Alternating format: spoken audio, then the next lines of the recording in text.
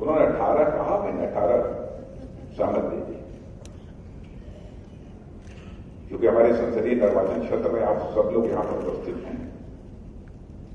ہردے کی گہرائیوں سے میں آپ سب کا اور ایکل ابھیان سے جڑے سبھی سمانت بہنوں یا بھائیوں کا ہاردک ابھینندن کرتا ہوں۔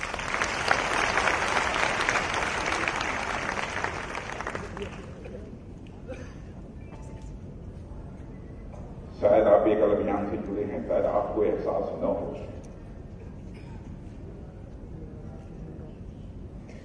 لیکن میں کہہ سکتا ہوں کہ آپ کتنا بڑا،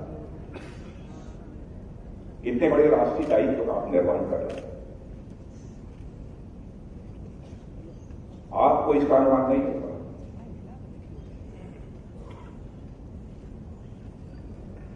جو بھی کوئی ویکتی وویکشیل ہوگا وہ سہج روپ سے اس بات کو سمجھ سکتا ہے کہ ایکل ابھیان کے مادھیم سے اس دیش کی اس طرح کی اتنی بڑی سیوا ہو رہی ہے۔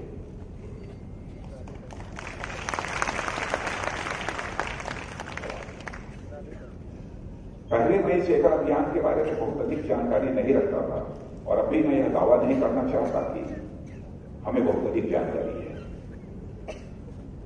شاید یدی میں پہلے دن سے رہتا تو اور ادھک گہرائی سے اسے میں سمجھتا لیکن جتنا میں سمجھ پایا، اس سے میرا بھی کو وشواس پکا ہو گیا ہے۔ پہلے جو لوگ کہتے تھے، اکیلا چنا نہیں، اکیلا چنا تھاڑ نہیں ہو سکتا میرا وشواس پکا ہو گیا ہے کہ اکیلا بھی چنا تھاڑ ہو سکتا ہے۔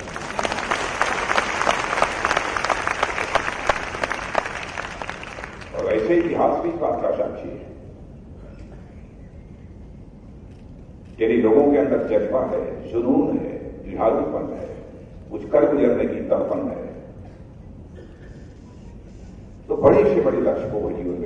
پراپت کر سکتے ہیں، بڑا سے بڑا کام کر سکتے ہیں۔ وہی کام آپ لوگوں نے کیا۔ ہے